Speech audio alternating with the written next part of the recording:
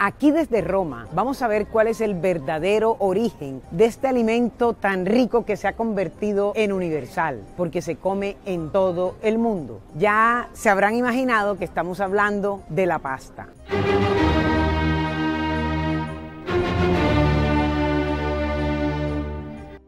Realmente no es posible decir que la pasta viene de un solo sitio o de un solo momento histórico. Últimamente, o desde hace un siglo, hemos escuchado que fue Marco Polo quien trajo la pasta a Italia y que fue durante su viaje por el lejano oriente y en especial por China. Pero en nuestro video de hoy vamos a explorar los posibles orígenes antiguos de la pasta y son realmente sorprendentes.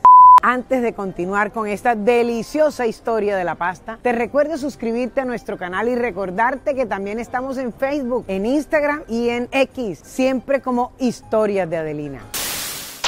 Aquí hay un poquito de contraluz, pero ajá. El cuento de que Marco Polo fue quien trajo la pasta a Italia se ha venido transmitiendo de generación en generación, pero parece que es una leyenda urbana, de la que como la mayoría de estas historias es difícil conocer su origen y todo indica que viene tan solo desde el siglo XIX, pero va a ser muy, pero muy difícil desmontarla porque ya está muy arraigada en el imaginario popular, tanto aquí aquí en Italia como en el resto del mundo es que por muy leyenda que sea, casi que en el menú o en la carta de muchísimos restaurantes italianos es usual ver una leyenda alusiva a que fue Marco Polo el que trajo la pasta a Italia. Y si bien es cierto que en el antiguo lejano oriente comían pasta, esta se fabricaba con millo, que es un cereal que tiene más de 4000 años de historia. Lo lógico es que Marco Polo haya comido varias clases de pasta durante su viaje por China pero desde mucho antes de su regreso, en 1294,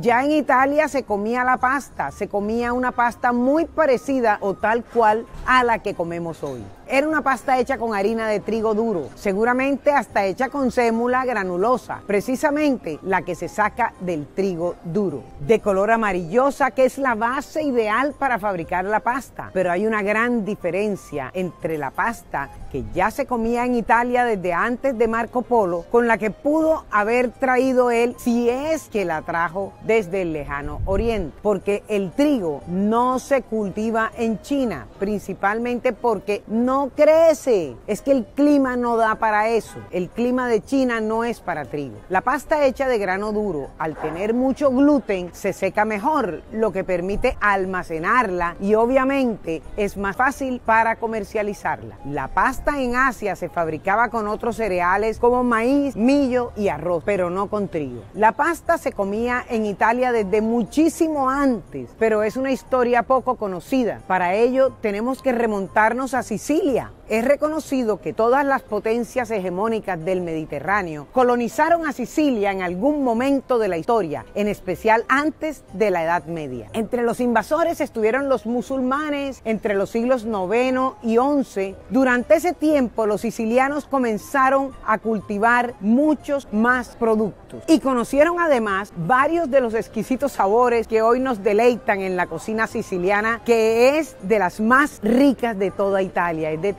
mundial. De este periodo se ha encontrado un texto de 1154 que consiste en una copia del manuscrito del libro del rey Ruggiero II, escrito por su cartógrafo llamado Mohamed al-Drisi. Actualmente se conserva en el Museo de la Pasta de la Colegio, un territorio de la Emilia Romagna, que está ubicado en las afueras de Parma, la ciudad del delicioso queso parmesano rellano. En ese manuscrito se menciona que en un sitio llamado Vía, ubicado a 36 kilómetros de Palermo, ya se estiraban en largas y delgadas tiras la masa y las dejaban secar. A esa forma de pasta le llamaban itrilla, es decir, que no es una palabra árabe sino de origen griego. Esas tiras, obviamente, no tan delgaditas como los actuales espaguetis, las cocinaban en agua caliente y como en Sicilia el clima es muy seco, esto favoreció la introducción de la pasta tanto en la isla como desde allí derechito al resto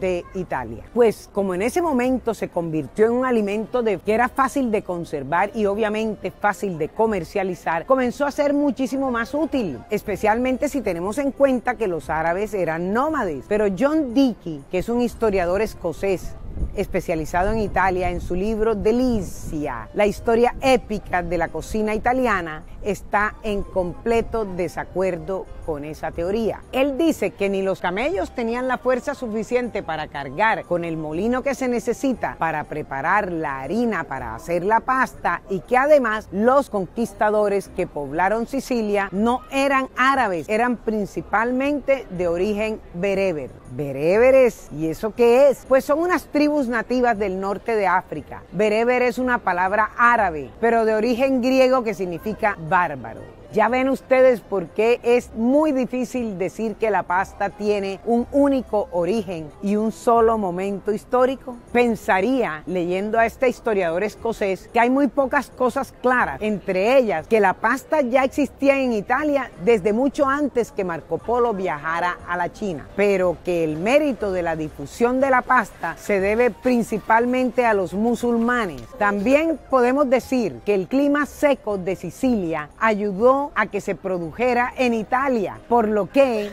es indudable que a comienzos del siglo XVI en todo el territorio de lo que hoy es Italia comían pasta y que desde allí comenzó a difundirse hacia el resto de Europa y después en el mundo entero.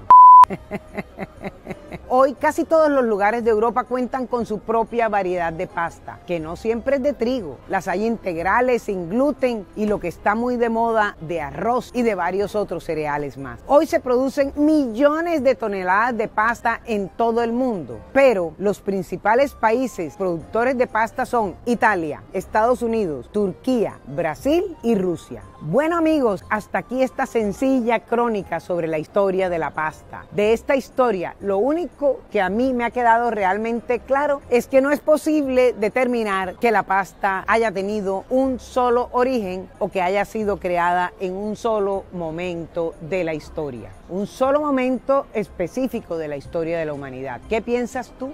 Nos encantaría conocer tu opinión abajo en los comentarios. Si te gustó esta historia, dale like clic en la campanita para que sepas cuando subimos cada nuevo video. Al final te dejo dos videos, uno sobre la comida en Lima durante el siglo XVIII y otro sobre la comida en Cartagena de Indias durante el siglo XVII. Ah, y si es que aún no te has suscrito, lo puedes hacer haciendo clic en el rectángulo. Aquí amigos desde Roma, hasta pronto.